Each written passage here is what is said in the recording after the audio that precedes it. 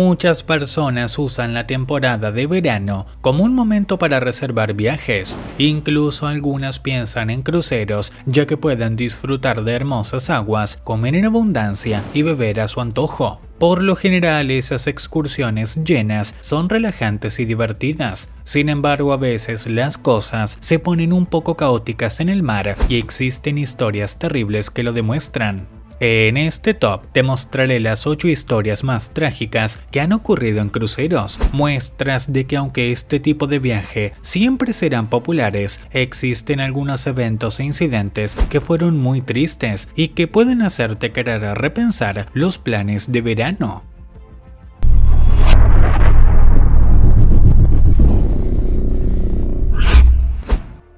El crucero inundado los pasajeros del conocido crucero Carnival Triumph y que quedó a la deriva en el Golfo de México no recibieron las vacaciones que esperaban. Debieron dormir en sus cubiertas, se arreglaron con los pocos inodoros que funcionaban e hicieron lo posible para conseguir comida. Fueron más de 4.000 pasajeros y miembros de la tripulación los que quedaron varados a bordo de lo que ahora se conoce como el crucero del Popó, después de que un incendio lo dejara completamente sin energía el barco quedó muerto durante cuatro días antes de que pudiera ser remolcado. En todo ese tiempo se mantuvo sin aire acondicionado y en gran parte sin luces ni agua. Aunque ninguno de los pasajeros y tripulantes resultaron heridos durante el incendio, ellos explican que sufrieron un importante daño psicológico gracias a un viaje que será muy difícil de olvidar. Es por eso que tiempo después iniciaron demandas millonarias en contra de la empresa patrocinadora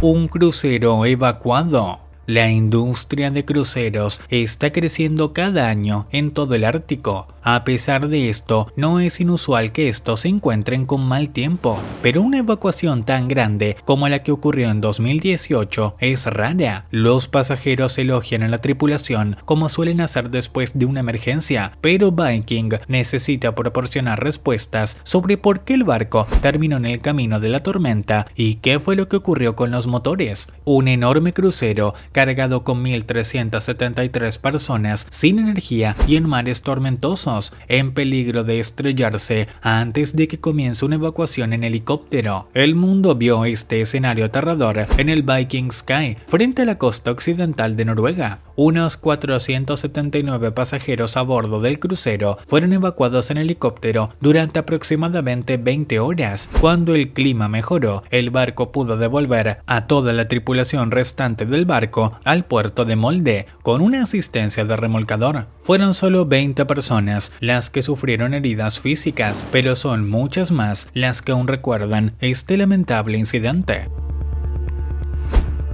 Sin privacidad. Una pareja estadounidense denunció en 2018 haber encontrado una cámara de video oculta en su camarote dentro de un crucero Carnival y que iba con destino a México. Ellos desconocían hasta el momento si se habían tomado imágenes suyas o de su hijo de 10 años y que también se encontraba a bordo. Fue el hombre quien descubrió la cámara y le preguntó a su pareja qué es lo que hacía en ese lugar. Además asegura que el dispositivo estaba conectado y en funcionamiento, por lo que avisaron al equipo de seguridad del crucero. Finalmente la pareja decidió grabar a un empleado del hotel cuando inspeccionaba y desinstalaba la cámara. Sobre el tema, la compañía encargada del viaje confesó que se estaba llevando a cabo una ardua investigación sobre lo ocurrido. Es por esto que entregó el dispositivo hallado al FBI con el fin de que fuera sometido a una profunda inspección. No obstante, Carnival Cruise defiende y afirma que la cámara no estaba conectada y que por lo tanto no funcionaba algo que la pareja afectada niega hasta el día de hoy.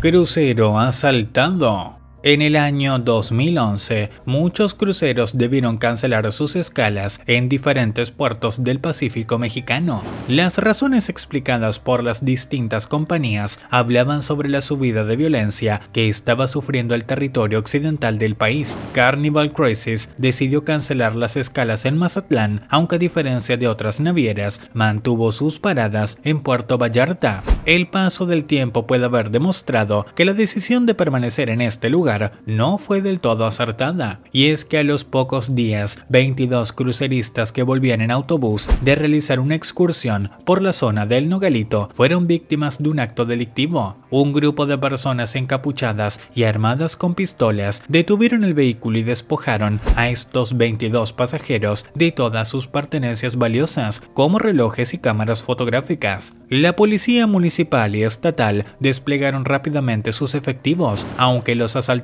ya habían huido por las montañas circundantes. Los dueños de restaurantes y otros comercios de la zona mostraron claramente su malestar y exigieron una mayor presencia policial.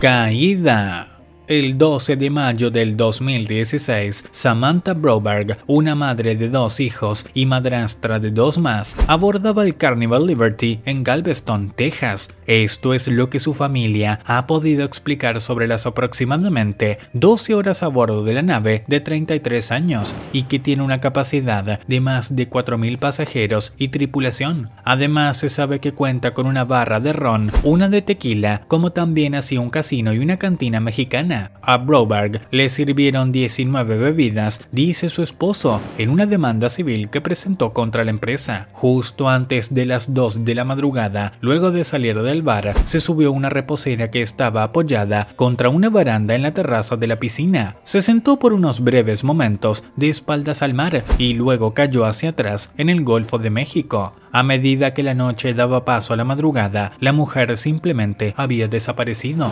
Desde el 2000 fueron muchas las personas que se han caído de cruceros y son varias las denuncias en contra de las industrias que se defienden diciendo que es la gente la que no se comporta de manera responsable.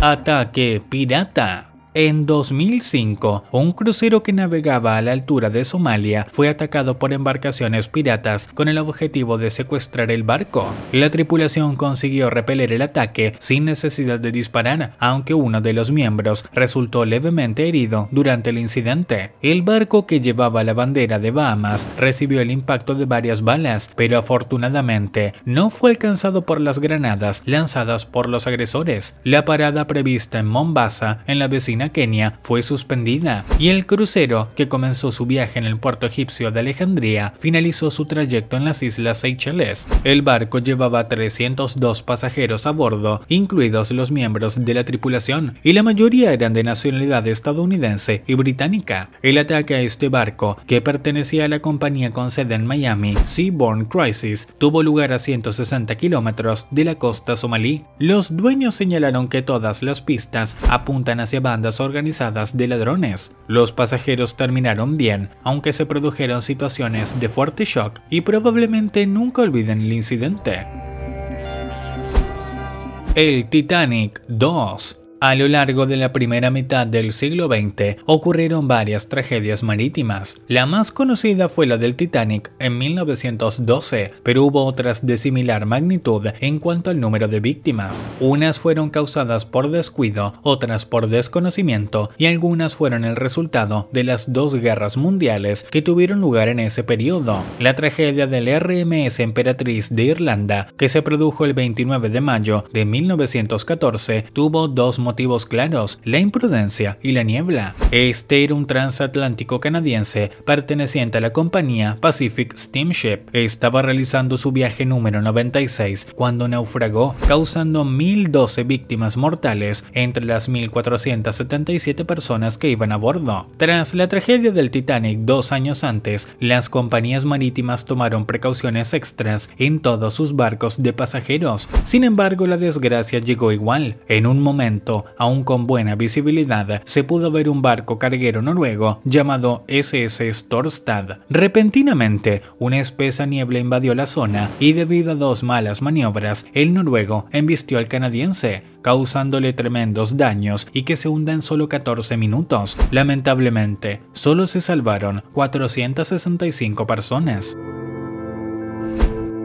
Crucero ladeado el viernes 13 de enero del 2013, el crucero Costa Concordia chocó contra las rocas de la italiana isla de Giglio, provocando el accidente naval más grande de los últimos años. En el barco viajaban 4.229 personas, de ellas 3.209 viajeros de 62 nacionalidades, en su mayor parte italianos, franceses y alemanes. El capitán del barco Francesco Schettino, de 52 años, fue detenido al otro día acusado de homicidio culposo múltiple, naufragio y abandono del barco, mientras muchos pasajeros aún se encontraban dentro de la nave. El naufragio dejó a 32 personas sin vida, ya que los procedimientos de evacuación no se llevaron a cabo de forma adecuada. Todos los italianos tienen aún en su recuerdo las imágenes de aquella tragedia, con el barco ladeado, los pasajeros aterrorizados y envueltos en mantas, y los socorristas empeñados en las tareas de rescate.